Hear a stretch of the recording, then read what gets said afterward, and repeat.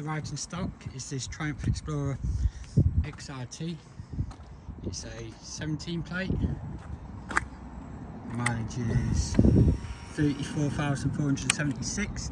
The bike's yet to a it. It's just a quick walk around video just to show you the bike. But it's been the XRT model. It has absolutely everything on it. You've got the clear screen that's uh, electronically adjustable. All the headlights nice. Again, it does need a valet, so there is dirt in places.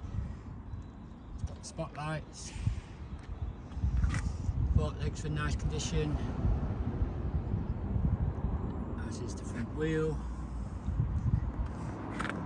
Engine casing's nice, does have a mark just there, no doubt be from the boots.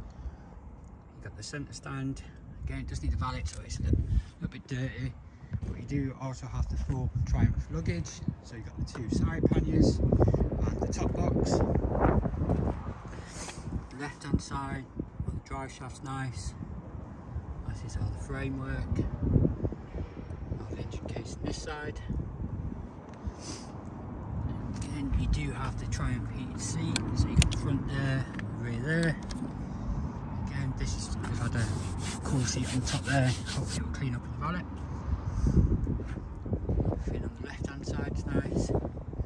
Hand guards do have a couple of scuffs along with the mirrors.